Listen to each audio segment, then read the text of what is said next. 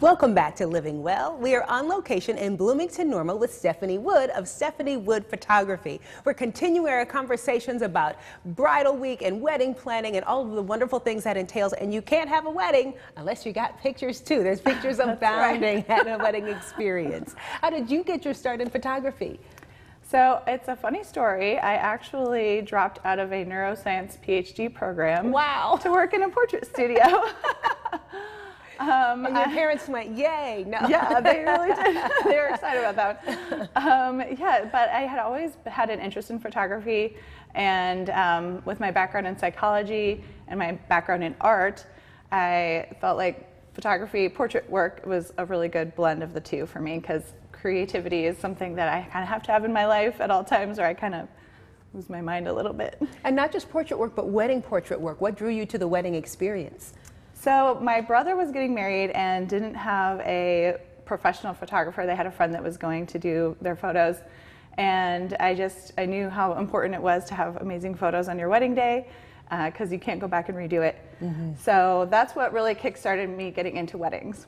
So if I'm a couple and I'm going to be getting married soon, I know I've seen wedding photos that I've liked and maybe some that I haven't liked, but I don't have a great understanding of what makes one great or not great. Can you help me through that process? Yeah, so I think to look for um, the emotional connection, not just between the couple in the photo, but um, you need to also have a great connection with the photographer.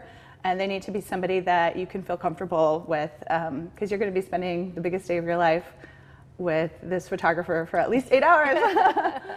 so it's really important to have an amazing connection with the photographer and looking through the full body of their work to see that they know how to do different lighting scenarios. Like natural light can't be the only thing they're good at because on a wedding day you need to be able to light receptions and dark spaces mm-hmm. and um, have a really good working knowledge of all of that. I'm intrigued by your background in psychology and in art. I would imagine that comes in very handy because, because couples are doing some some deep emotional work as they go through a wedding planning yes. process. How do you bring in what you sense in them emotionally into what you create artistically? Well, I try to get them to really think about what they love about each other so much within those sessions. Um, it helps them so that anytime they look back at those photos, they're going to remember the love they felt that day uh, instead of you know whatever else was going on.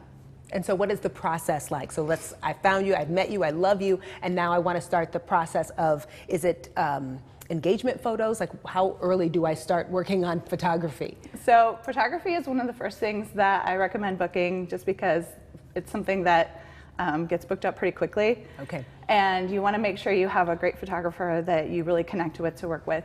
Um, so when it comes to me, I always like to meet people either in person or if we can't do in person, I like to do a video chat so that I can see your face um, since I love looking at faces all the time. That's a good idea. So, and then we can move on into the booking and then we'd start with an engagement session.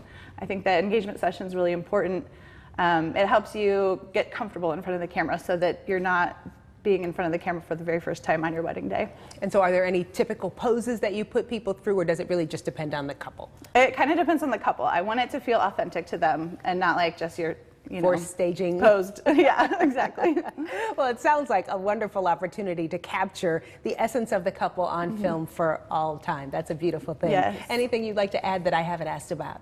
Um, I think just that I encourage couples to think long term when it comes to their wedding photos. It's easy to get caught up in all the trends that are going on right now and think very, you know, short term gratification. But these are photos that you're going to last throughout generations. You're to, your grandchildren will see them, so you want them to be timeless. Stephanie Wood of Stephanie Wood Photography. Thanks for being with us on Living Well. Thanks so much. Living Well. We'll be right back.